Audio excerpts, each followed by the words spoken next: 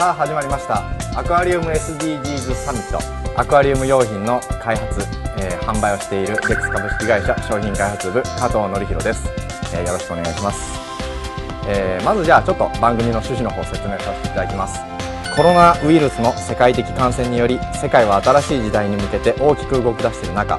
私たちアクアリウム業界のさまざまなジャンルで活躍する企業が集い多彩な話題や事象を取り上げ持続可能な開発目標いわゆる SDGs を考えてアクアリウムで笑顔を未来につなぐために私たちが何ができるかを真剣に考えるトーク番組です、えー、皆様よろしくお願いいたします。よろしくお願いします。ということでじゃあまずちょっと自己紹介の方からしていただけたらと思いますので、はい、えー、川水川崎水族館の副館長しております小川と申します。よろしくお願いします。よろしくお願いします。ありがとうございます。はい山川さんも今日はこんな素敵な場所を使わせていただいて本当にありがとうございます、はい、こちらこそありがとうございます。あの水族館にこう来てこういったあの対談ができるなんてちょっと楽しみでした、ね、いやもうやっとこの日が来たかなっていう感じ、えー、でもちょっと緊張しますね。そうですね、えー、なんかこう言葉が詰まりそうで 申し訳ないんですけど、ね、いえいえいえちなみにここ今使わせていただいているところっていうのはどういったエリアなんですか、ここはあのパンタナルというアマゾンのですね中央部に位置している湿原を再現しているんですね。で実際にあのアマゾンの上流域で撮った撮影した映像を水槽と組み合わせて展示をしています。で水槽の中にはですねやはりあのアマゾンに生息している魚たちそれから植物を多く飼育しているんですが、まあ、映像と実際のリアルと融合させたような新しい見せ方っていうのを提案している水槽です。水面に映り込むこの奥のプロジェクターの映像とかもものすごく水面が綺麗でそうですね。なんか新しい発見がある面白い水槽だなってすごく思いました。そうですね。おっしゃる通りです。あのここはあの川崎ルフロンっていうですね商業施設のちょうど9階にあたるところなんですね。でここを見てるとあれここがあのビルの9階なのかっていうのを一瞬忘れてしまうようなあの没入感がありますよね実際この映像を使うことで奥行き感を出してまるでこのアマゾンに行ってるようなこう感覚っていうのを、えー、感じてもらえるようにしていますえー、じゃあ続きまして、はい、はい、今度はじゃあ高倉さんの方ご紹介お願いします。はい、私株式会社イノカという、えー、ベンチャー企業のえっ、ー、と代表取締役のえっ、ー、と高倉陽太と申します、えー。よろしくお願いします。よろしくお願いします。お願いします。実際にじゃあちょっと、はい、イノカというものを、はい、ちょっと教えていただいてわかりました。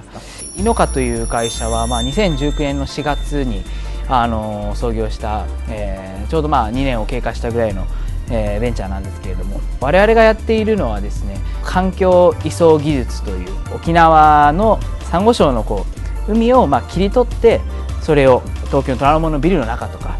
あのいろんな商業施設の中とかに、まあ、再現をしていくっていうような、えー、ことをしております。でどうやってそういった技術を作っているのかというと弊社にはですねあのチーフアクアリウムオフィサーというまあ、最高アクアリウム責任者という CAO そうですね。彼は大学を海洋学とか出てるわけでもなくそういう水族館その飼育員をやってたわけでもないんですけどもただの趣味でずっとこう誰のためになっているのか分からないこのサンゴをめちゃくちゃ育てまくるっていう技術を作ってまだそういう技術をベースに、まあ、私が AI とか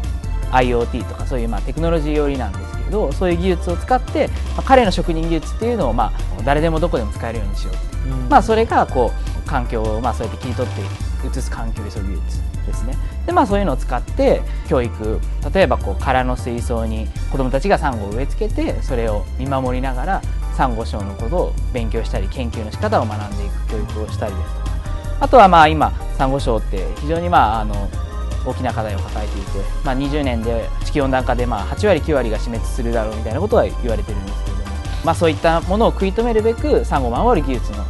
研究開発とまあ、そのこう教育と研究の二軸であのやっているベンチャー企業に、はい、なります。じゃよろしくお願いします。よろしくお願いします。よろしくお願いします。はい。ちなみに今皆さんが、えー、こうやって私は今ピラルクさんを、まあ、持ってるんですけれどもこちらはですね川水さんの ところで、はい、えー、おいえー、ですね取り扱っているぬいぐるみサンダルです。で小川さんはこうアマゾンイメージした、えー、はい、ピラニアだったり、ね、高倉さんには、えー、サンゴとまあ関係があるかなと思っていましたので熊の実をご用意させていただきました。はい、はい、私はなぜか一番大きいお魚になっちゃいますけどビラルクです。はい。あんまり気にしないでください。はい。それではですね、はい、えー、本日の、えー、トークの方ちょっと行こうかなと思います、はい。えー、いろいろご用意してるんですけれどもじゃあまずちょっと話しやすいところからということでアクアリウムの存在価値アクアリウムの力って何？アクアリウムの役割って何？というようなところからちうん。ょっとお話ししていきましょうか、またあのテーマとしては結構重い、重いですね。あのこれだけであの5時間コースそうですね。かなりね話せますよね、はい。それぞれの多分あの企業さんとか、ええ。あと、多分個人としてのアクアリウムの思いとかもあると思うのでまあとりあえずざっくばらんに今はお話しさせていただいたらいいかなと思います。じゃあ小川さんの方から何か、うん。そうですね。まあ、アクアリウムの定義っていうのが、うんうんうん。あのまあ、いわゆる個人でやるあのアクアリウムといわ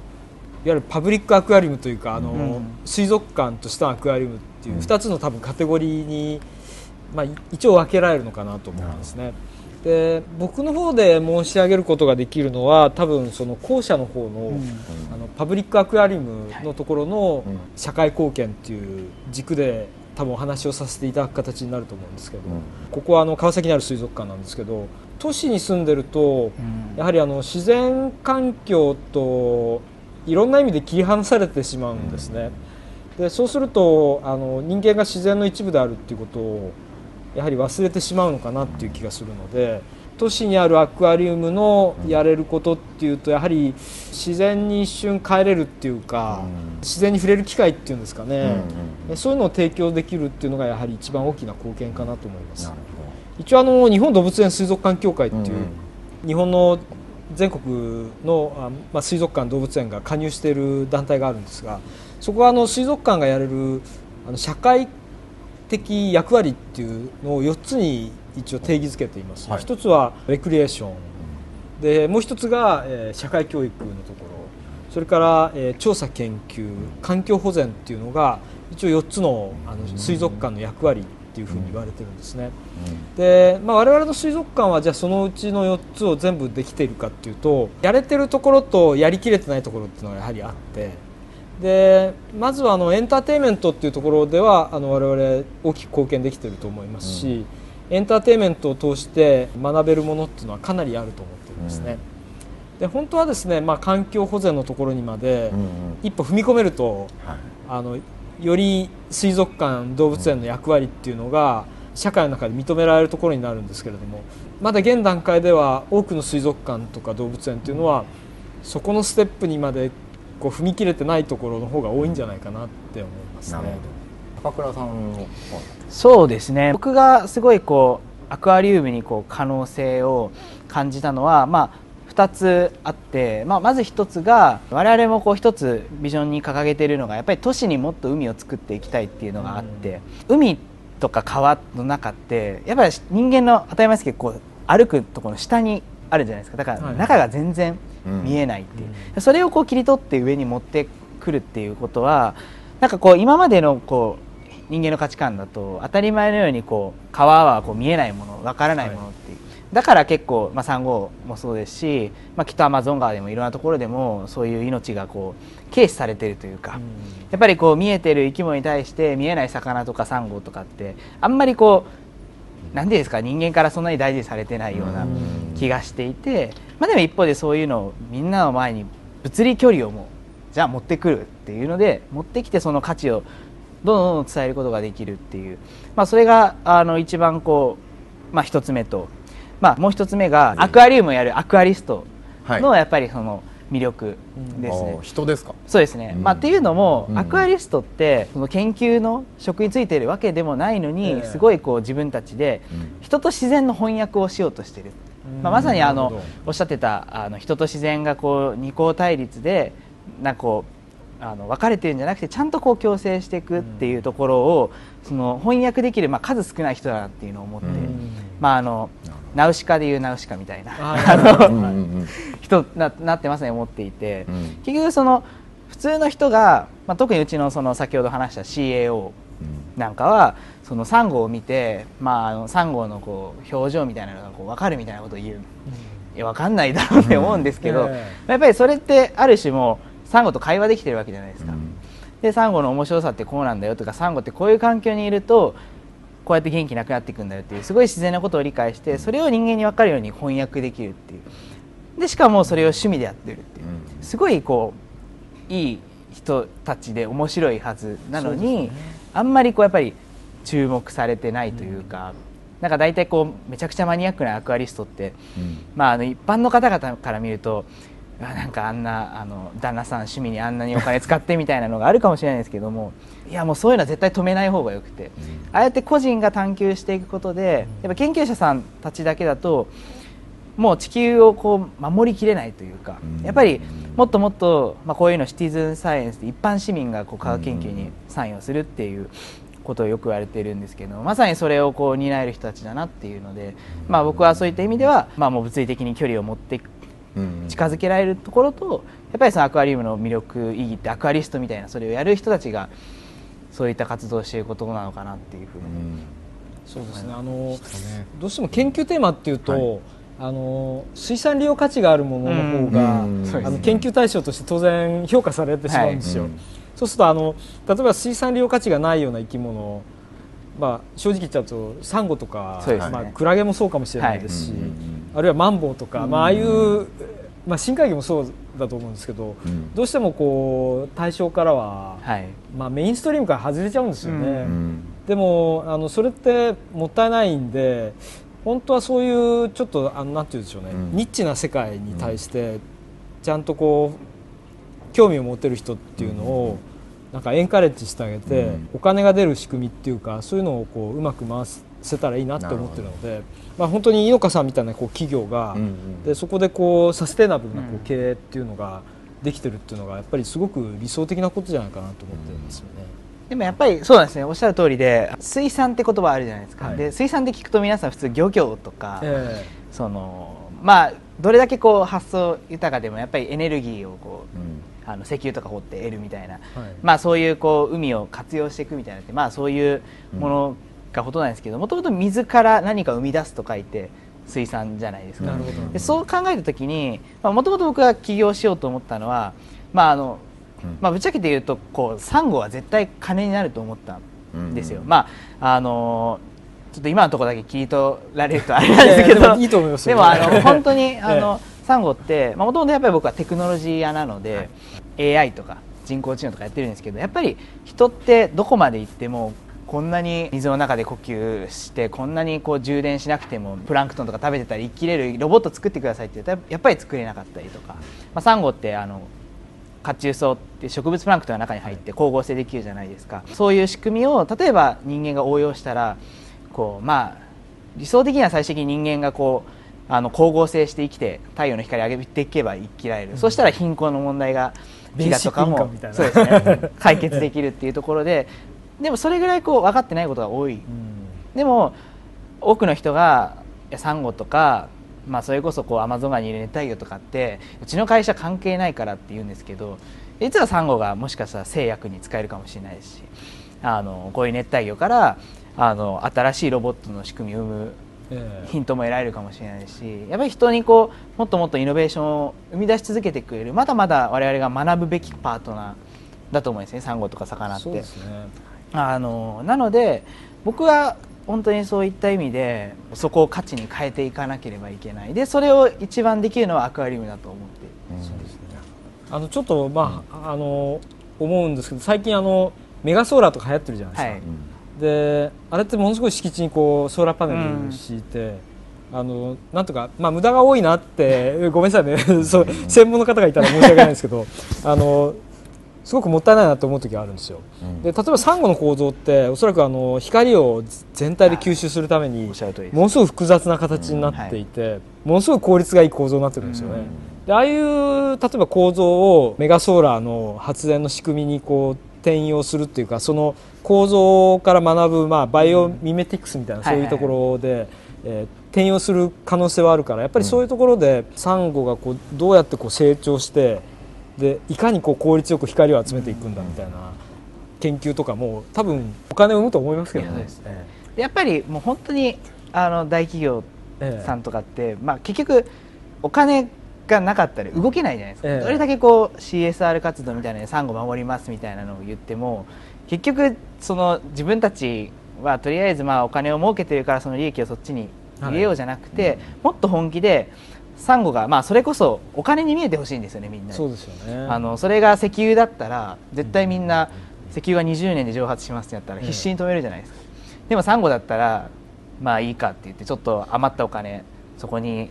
寄付して終わりみたいなんじゃなくてそこを変換していくっていうのはすごい切っても切り離せないところだなって。ジェックス株式会社とじゃあ今度ちょっとアクアリウムっていうふうに考えた時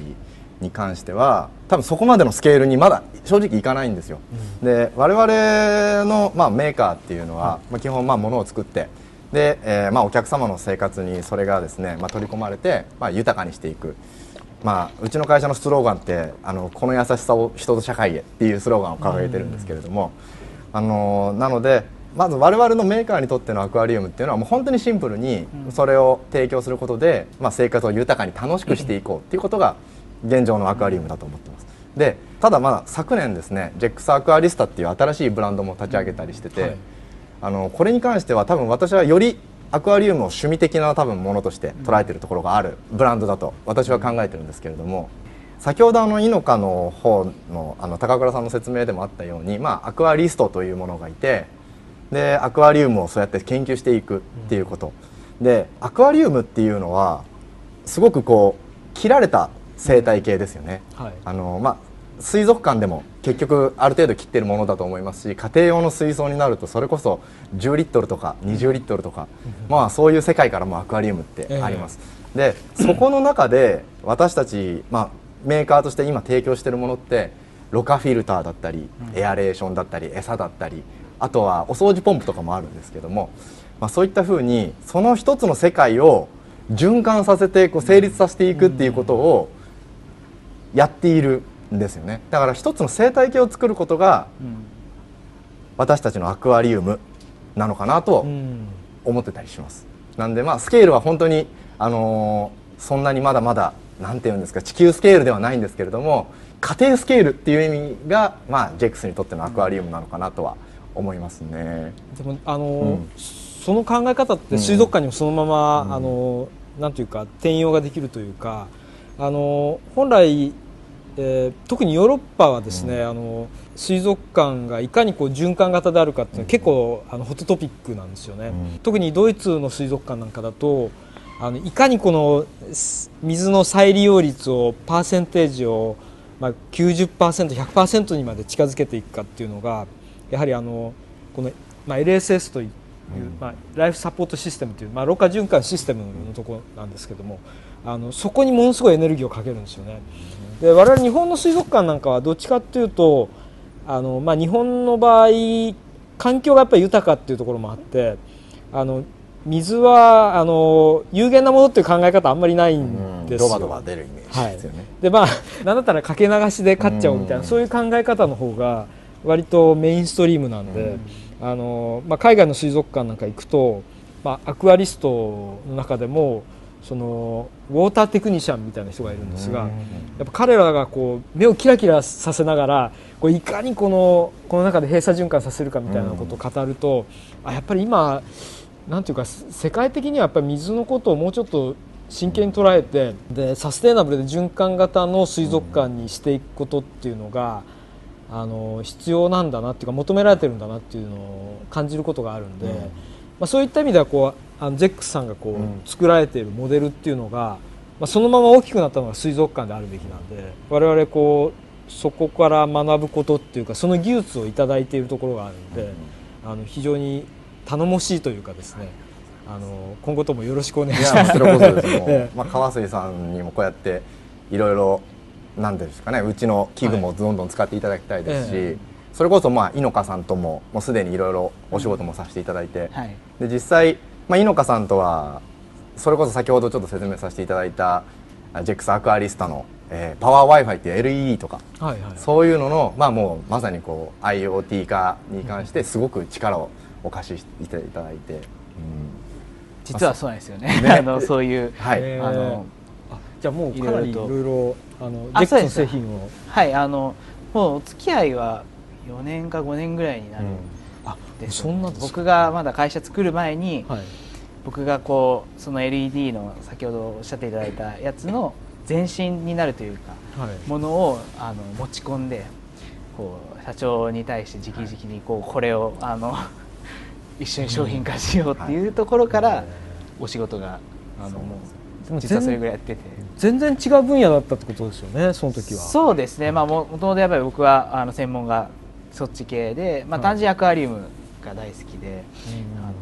まあ、そそうですね。そういう意味で先ほどのあのお話であったあのもうちっぽけなことみたいな全然そんなことなくてこう、なんでこれを我々がこう水環境だからもっともっと面白くできるかっていうと、アクアリウムっていう業界が生まれて、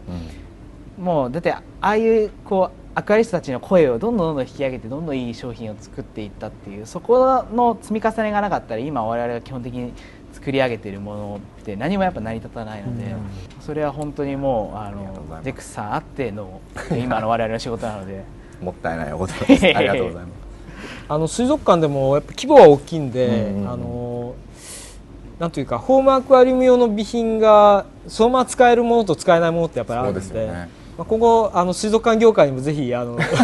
目を向けていただいて。規模のでかいものを作るとそうですね。なかなか大変。はい、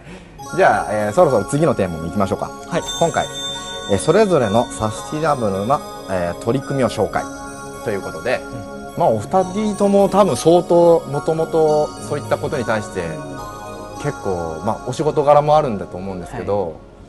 注力してもう意識されてお仕事されてますよね。うちはそうですね、まあ、もうそもそも目的というかが、あの結構そこが多いので、まあ、サンゴの保全であったりとか昨年はあのモリシャスっていうあの、うん。島国であの重油の流出してしまった事故があったと思うんですけれども、その際にも我々は現地に行ってその現地のあの、まあ、サンゴ礁のモニタリングみたいな仕事から、まあ、あとはやっぱり人のやっぱりまあ問題っていうのもすごく多くてですね。どうしても自然利用とか普通に切っていくことによる影響がサンゴに与えるダメージみたいなところをやっぱりどう変えていくかみたいなところを、まあ、いろんな方々とディスカッションしたりとか、まあ、そういう本当にあの次世代のこう人たちがどうやったらその今のこう美しい自然と共生していけるのかっていう、まあ、そそもそもそれがサステナブルうん。なので、まあ、そこを我々はやっているので、まあ、まずそれはそうですね。多分一番私は答えやすいのかなと思うんですけど、環境問題とかそういうのってすごい切り取られて一部だけが見えているので、まあ、僕らもそういう意味ではあの、まあ、川瀬さんがあのアマゾン行かれてたようにやっぱり現地に行くことはすごい大事にしてて。実際どうですか？あの実際のその、まあ、沖縄のサンゴ礁とかご覧になってて、やっぱ危機的な状況なんですかね？その今のリアルはい。があんまり分かってないんですけど、本当に場所によるっていうところはまず一つでもうすごい綺麗にすごいもう一面サンゴ礁になっているようなところもありますし、まあ一方でほとんどがもうあの死んでしまっている場所、まあ、特に浅瀬というか浅場のサンゴなんかはすごいやっぱり海水温の上昇でやられてしまっていて。ただその2016年にそういう大量発火が起きてからこの,、まあ、あの45年で、まあ、割と回復している場所が多いのかなっていうイメージはあります。ただまあここからまた海水温が1.5度上がると何が起きるのかはもうまあ容易に想像ができるのでやっぱそこに対してこう何かあの具体策を示していかなければいけないのかなとは思いますね。じゃあそれを踏まえたりとか、まあ、他にもいろいろと今の状況を踏まえてアクアリウムっていうもので考えた時何をやるべきなのかとか、何をやらなきゃいけないのかっていうのはどういうふうにお考やっぱりそのまずは知ってもらうことが大事かなっていうのと好きになってもらうとか、まあ、好きにならなくても可愛いとか、綺麗だなとか、まあ、そういうふうにこうアクアリウムを通して感じてもらうことっていうのがやっぱりファーストステップかなと思って。まず距離を縮めていくというようなそうですね、やっぱりあの、まあ、僕らあの水族館で働いててもそうなんですけど実際にサステイナブルな取り組みやってるかって言われると、なかなかそこってこうがっつりやれないんですよね。やっぱりちょっとずつなんですよね、はい。でただちょっとずつやっていくためにはやっぱり知ることとか、まあ、好きになることとか、とにかく接点を多くしていかないといけないと思ってるんですよ。うんうん。でそういう意味ではあのアクアリウムが果たせる役割って結構大きいなと思っていて、で、まあ、最近はメダカが流行ってると思うんですけどそうですね。まあ、メダカの問題って今あのいろいろあるんですけどその、まあ、い今、うんまあ、日本にいるミナミメダカって絶滅危惧種にカテゴライズされててでところがまあメダカっていっぱいいるじゃんって思うと思うんですけど、まあ、そのワイルドでしかもその地域型のメダカっていうのは意外と少なかったりするんですね。でそういうのを保全していかなきゃいけないんだけどメダカのことを保全するためにやっぱり好きになってもらわなきゃいけないしその入り口として、えーまあ、それを飼育してみるだとかメダカのことを理解してそこでこう得たノウハウみたいのが、まあゆくゆくはうん。あの、まあ、井の香さんがやってるみたいにその保全につながるかもしれないっていうところで考えるとあの、まあ、ロングタームで見るとあホームアクアリウムってかなり貢献できると思いますけどね。アクアリウムと保全っていう形があるんじゃないか。と、なるほど井の香さんはちなみに僕もやっぱり知ってもらうっていうのはすごい大きいと思います、こういうはい。やっぱりまあ僕もそうですしいろんな僕らが教育していく中で水族館に行ってたくさん学べることとか、それがきっかけですごい生き物好きになったみたいな人が多いので、まあ、そこはもう絶対にアクアリウムがやれる強いポイント、うんまあ見ないとやっぱ好きになれないのでそれをあのそれこそ熱帯魚なんかアマゾンが行かなくても見れるみたいな、うん。すごいハードルをものすごい下げられるので。まあ、もちろん最後に僕も見に行きたいですしみんなにも見に行っていってほしいんですけど、ええ行かなきゃってなり まあまあなかなかハードルは高いですが、まあ、あとはやっぱりその、まあ、僕たちが最近結構意識している、まあ、子どもたちとあの話していて思うのが、うんやっぱり子どもたちの個性を解放できる場になるんじゃないかうんなるほど。個性まあ、だから僕らって結構パブリックとプライベートのアクアリウムのまあこう間なのかまあ行ったり来たりみたいなところなんで商業施設に置いたりとかこういうラボでやったりなので。例えばですねそのこの水槽の中って本当にいろんな世界を表現できるわけじゃないですか、うん。まあ、それこそ加藤さんみたいにそのもうアート作品のようにもう本当に美しいものを作り上げる方もあの水系デザイナーの方もそうですし、一方でやっぱりそれをこう研究とか、うん。その自分の知的好奇心に向き合うためにいろんな実験がやっぱりできるっていう、でまあどちらかというとこうアクアリウムって今までうん。鑑賞がやっぱりメインだったと思うんですけれども、そこからまあまあなんか最近ちょっと我々が言ってるのは鑑賞からそのうん。見る鑑賞からそのあの触るあの触るで鑑賞するはい。うん鑑賞から鑑賞へみたいなことを言ったりしてるんです。関わっていくそうですねはい。やっぱりそこができるともっと深くこう人と自然がこうあの向き合っていけるんじゃないか、なのでそうですね僕はジェックさんと絶対いつか そう教育の教材としてアクアリウムをちゃんとあの広めていく、うん。そういうことをやったり。でその先にうん。川水さんとかとやりたいのはそのまさにこういうやっぱり家でできる限界とかあるじゃないですか、うんまあ、大型の魚飼ったりとかこういう大規模なそこはこううまくこう連携していくと、うん子どもたちがいろんなことをもうすごい好きな中で生き物好きだけど、うん。まあ、なのでうちのまさに CAO みたいな人を増やしたいんですよね、うん。アクアリウムみたいな何の金になるのか分かんないこうん。うオタクキーなこう、え趣味なわけじゃないですか、まあ、僕もやったからこそ言うんですけど、うん。そういう人たちの個性を解放してあげたいって思うのでなんかそういう使い方ができたらすごいいい世の中になっていくんじゃないかなとは。結構お話の中で、まあ、それこそこういったアクアリウムみたいな、まあ、家庭用のものから知らせていくことがとても大事だっていう話を、まあ、すごいいただいてすごいこう身が引き締まる思いもあるんですけど多分我々の今度はメーカーとしてアクアリウムでやるべきことっていうのは一つの単位で長く続けていくことなのかなって今聞いててますます思いましたね。やっぱりアクアリウムを始めて一番悲しい出来事ってお魚が死んでしまったりとか、はいはい。レイアウトを作ったけど水草がダメになっちゃったりとか、ええ。まあ、そういうことが正直なところ一番の課題でで、まあ、永遠の課題ですよね。でどんなにこう面白い趣味でもやっぱりそれをきっかけにやめてしまう方とかもすごく多い、そうするとせっかくもうね一歩踏み込んだ人も場合によってはもうやめてしまうかもしれないから。だからまあ強いてね先ほどのあのテーマアクアリウムでやらなきゃいけないことを考えるとしたら我々はよりこ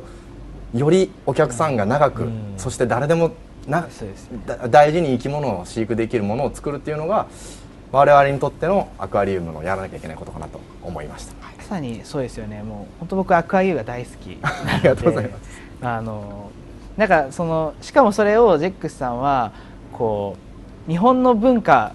をそこにこうなんていうか混ぜ込んでるってやっぱり我々日本人って土地がないじゃないですか、アメリカとかそういうところに比べて。やっぱりなのでできるだけみんながやれるようにするとなるとちっちゃく。うん。でなおかつこう日本人ってこううん盆栽とかうん。日本庭園みたいなそういう価値観があるのでそういうところを受け継いでっていうなるとやっぱりああいうアクアリウムみたいあにその機能性もああやって、あの持ちながらデザイン性も担保されてるみたいな、ああいうものがもっともっと出てくるとはい。我々としてももっといろんな人にアクアリウムをやっぱりこう普及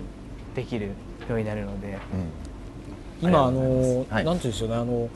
日本の場合だと多分日本人全員が忙しすぎちゃってて、ワンちゃんとか飼えない環境になってんじゃないかなと思ってるんですよね。まあ毎日そうですね。散歩させたりとかですもんね、えでそう考えるとやっぱりホームアクアリウムで生物との接点みたいなのすごく大事だなと思って、うんうんまあ、僕もあの昔犬飼ったことあって。で今あの犬の飼育頭数って日本全国でどんどんどんどん下がってっちゃってるんですよね、でまあ犬って死んじゃうとやっぱりあうん。のロスが大きいので、はい。あのもう二度と飼わないって人が出てきちゃうですよね。すごい悲しいですよね。で、うん。アクアリウムでもやっぱそういう現象ってあるんですけど、はい。うん。あのでもやっぱり命と触れるっていうかその死にも触れるっていうのはすごく大事なことだなとは思ってるんですよ。うん。でもう一つあのアクアリウムのこういうところを改善できたらもっと広まるのがいいなって思ってるのは、はい。やっぱこの地震対策っていうところですよね。うんであの日本の場合だとあの、うんアクアリウムブームって一時期上がってって、うん。やはりあの経済問題と絡めてこう下がったりするんですけど、うん。あの決定的にこうアクアリストが減ったのって東日本大震災、ですよね。でやはりあの地震を機に、うん。あの手放しちゃう方が多かったんでそれはすごく残念だなと思いました、ぜひもしあのジェックスでそうですあのねなんか免震というかですね。永遠の課題の一つですね、はい。あの商品として例えばアクアフランジっていうまさにまあ水槽の縁につけて、はい。こう地震の揺れの波を殺したり、はい。で先ほど説明いただいたアクア U とかは、はい。蓋があの本当に100%できるんですよ。なので、まあ、そういった意味ではあの我々も地震対策とかを考えた商品は作ってるけど100%ではないですから。なかなかそこはに関して安心しないと長期的にやっぱりやっていくのは難しくなっていくのかもしれませんね、まあ、これからもちょっと大事な課題として考えていきます、ありがとうございます。じゃああのこの3社。はい。川瀬さんや井の香さんそしてジェックス株式会社。この3社でできること。ということをちょっと考えていけたらと思っております、全く違う業界でありながら、あまあ、違う業界って言っちゃっていいのか分かんないアクアリウムだけど、ええそうですね場所はやってること形は態が違いますもんね、はい。それぞれね。お客さんも。今あの、まあ、今回のテーマは SDGs っていうところだと思うんですけど、はい。あの SDGs って、えっと全部で17個でしたっけ、はい。一応開発目標あの達成目標があって、各社はその全部やってるところってなかなかないと思うんですよ。例えば我々がやってるところで、うん。まあ、最も力入れたいところっていうのはやっぱり自然環境に出てって、でそれで保全していくっていうのは本来はやるべきところなんですけど、正直それって直接お金は生まないんですよね。よえねえただあのそこでの知見みたいのは展示に反映できるっていうところがある。で片やそのジェックスさんが一番得意なところ、んそれから井の香さんが得意なところってそれぞれ違うじゃないですか。でそういう点ではその我々がこう一緒にやるっていうことでのメリットっていうのは、まあ、その自分たちの得意分野がそれぞれ違うっていうところにあるんじゃないかなとは思うんですけどね。ちょっとだけ話それちゃうかもしれないですけど、はい。今の SDGs の話ではい。あの僕なんで川の豊かさを守ろうが、まあ、あの森に入るんだと思うんですけど、はい。うんうん結構やっぱり川って、うん。なんかまあ一応あの中にはいくつか、まあ、水資源みたいなとこ文脈でもはい。多分あるとは思うんですけれども、あんまりこう重視されてないっていうところ、まああのいつもそのサンゴの話を聞いてもやっぱアマゾン川って今どうなっているのかとか、やっぱ全然知らないじゃないですか。多分そのアマゾンで森があんだけ伐採されたら絶対下にいるこう川に影響がないわけもなくて、はいなんかそこのこう僕すごいこう川瀬さんたちとこうあのジェックさんとかでやりたいのは、そのまあ分かりやすい今やっぱり僕らもそのまあうちの CAO がサンゴやってるっていうのもありますけど社会的にどちらかというと分かりやすいのは、サンゴなんで、うん。でもアクアリウムの中でサンゴってどちらかというとニッチじゃない、うん。むむしろメジャーは淡水魚はい熱帯魚の方だと思うので、すごいその川とかそのそういう分野で僕らがやってるサンゴの活動をそっちにこ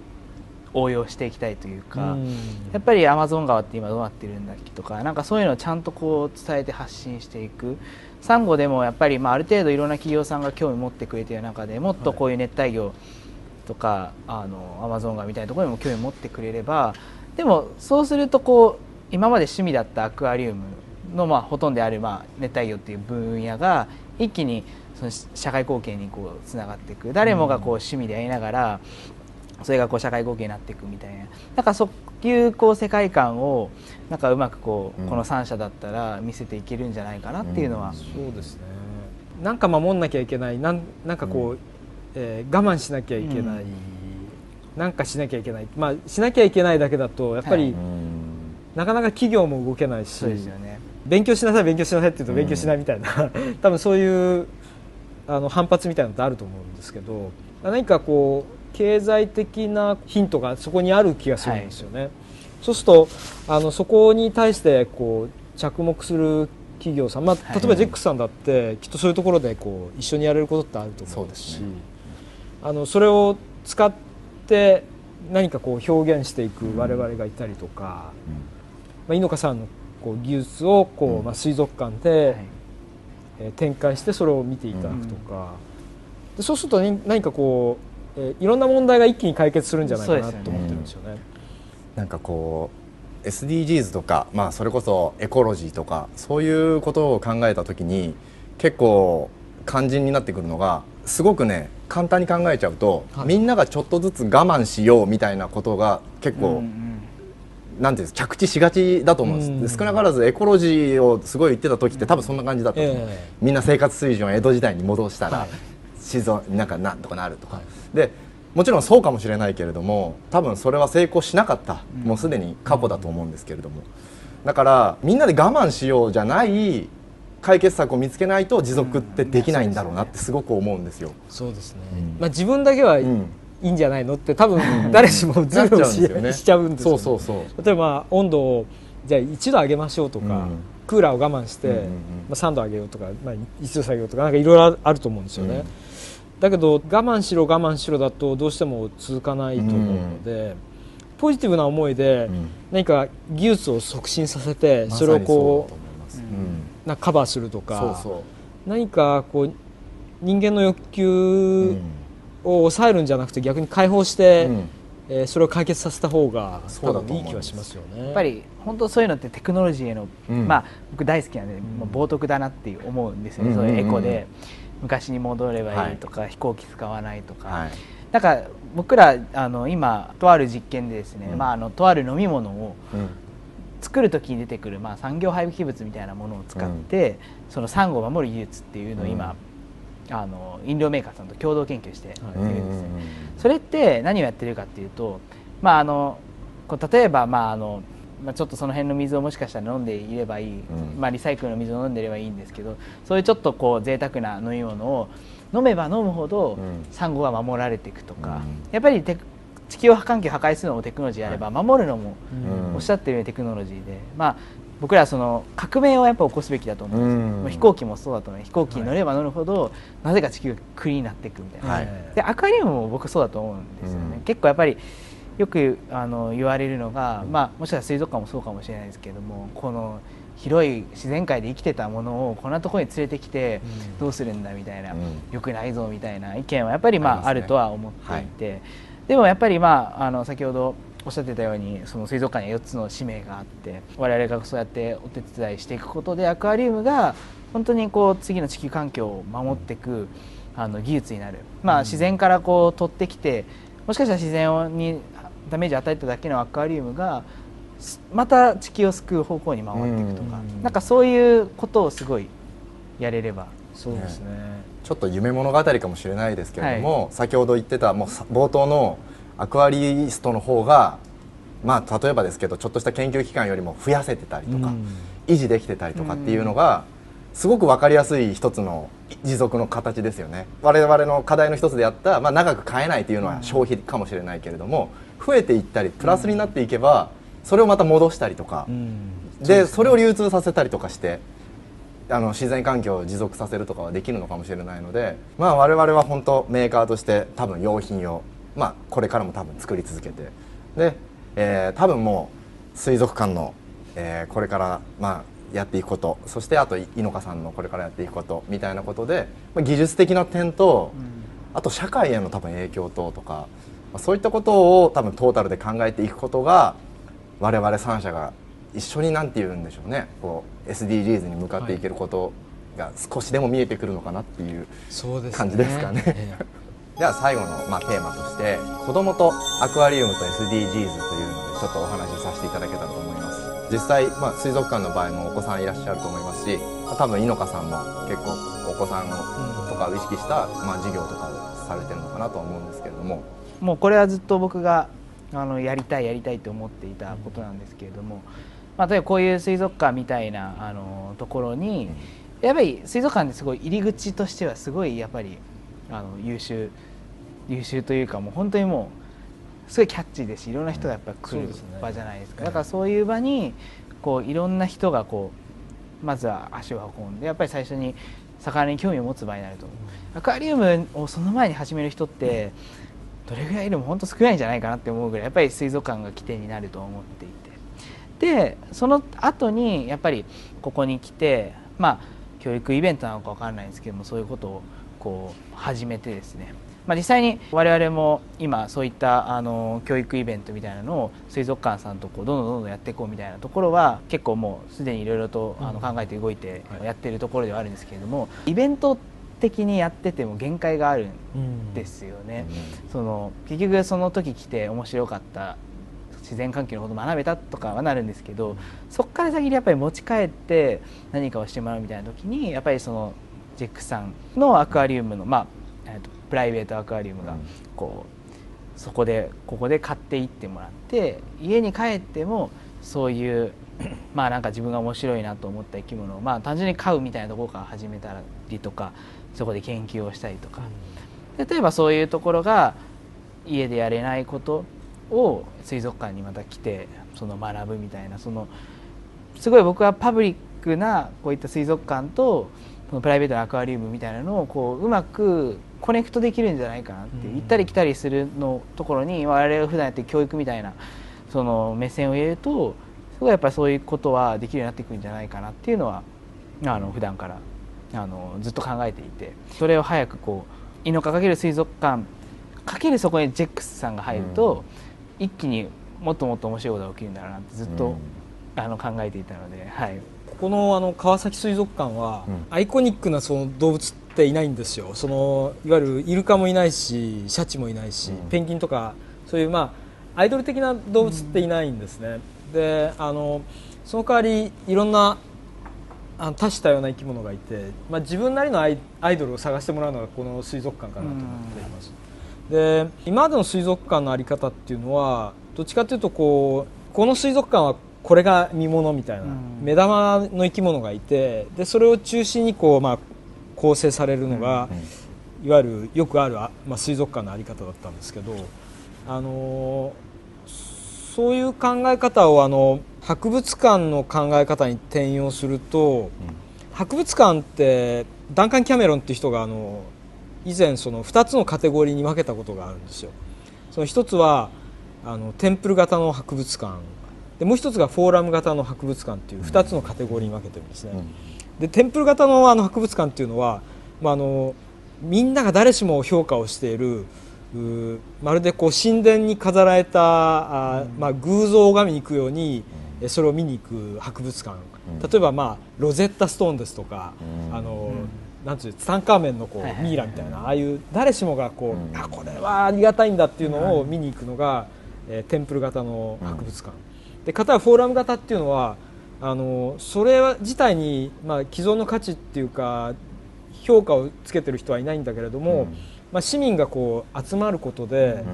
あるいは各企業さんが集まってそこに価値を結びつけてそのそこを中心にフォーラムが生まれるような、そういうのがあのフォーラム型の博物館で、近年だとそのフォーラム型の博物館の方が割と多くなってるんですよね。水族館もあのそういうプロセスに移行してもいいんじゃないかなってちょっと思っているんです。いやそこにもうすごい深海生物がいるとか、まあ、シーラカンスがいるとかそれを見に行くっていうのも一つの形としてはいいと思うんですけど、あのそれは決してサステイナブルかと言われるとちょっとわからないです。まあ必要なところではあると思うんですけれども逆にそのいろんな企業の人いろんな人が集まってきてでいろんなこう価値観をそこで共有し合いながら会話を会話が生まれて、で新しい価値が創造されていく方が何かこうワクワクするというか、まああの今の社会的なニーズにこう沿うんじゃないかなって思ってるんですね。で、まあ、川崎水族館としてはそうありたいなっていうふうに思っていて、えーまさしくこう、まあ、井の香さんだとジェックスさんいろんな企業さんあるいは、えー川崎市民、えーいろんな、まあ、研究者あアクアリスト集まってきて、えー何かここで新しい価値が生まれる、そういうものに、えー期待したいなと思ってます。けどね。でまあ、ジェックスとして、まあ、そういったまあ子供とアクアリウムと SDGs というふうに考えた時には、まあ、それこそ多分一番最初に接触するのは、まあ、ペットショップやもしくはこういったまさに水族館で、えーお子さんとかがですねそこでインスピレーションを受けたりとかインスパイアを受けてそのまあまさにですね、まあ、そのフォーラム型とか、まあ、そういったふうに磨いてきた水族館とかそういったものを家に持ってくるのが、まあ、ジェックスの役割だろうと思っております。で冒頭にちょっとお話ししましたけれどもやはり一つの生態系を見せる、えーものであってで私はちょっと言い方誤解されちゃうと嫌なんですけど一つのゲームであってほしいなとも思うんですよ。やっぱりこういった成功と失敗をまあすごく経験していって、そして、まあ、難しさと尊さを知っていくっていう風なのが、まあ、ジェックスの商品とか水槽からまず子どもたちへちょっと伝えられることのできるメッセージなのかなと思ってたりします。SDGs の17番目の目標がえーパートナーシップでの目標達成という風なものになっていると思います、それこそ川水さんがですねこう大自然と美しさやその大事さをですね大きなところで多くのユーザー様お客様に見せたものを、まあ、ジェックス株式会社が、えー自社の、まあ、水槽や、まあ、技術を使ってご家庭で楽しんでいただいて自然をより身近に感じていただいて、そして井の香さんの力でよりこうそれをもとに未来を切り開いていくような、まあ、そういったことができたらこの17番目の目標が達成になるのかななんてちょっと思ってたりします。いい感じで、えーありがとうございます。はい、じゃあ最後にこのお魚たちはい。で頑張りましょうな感じで、はい。はい、じゃあこれからもよろしくお願いします。はい。よろしくお願いします。は今日はどうもありがとうございました。ありがとうございます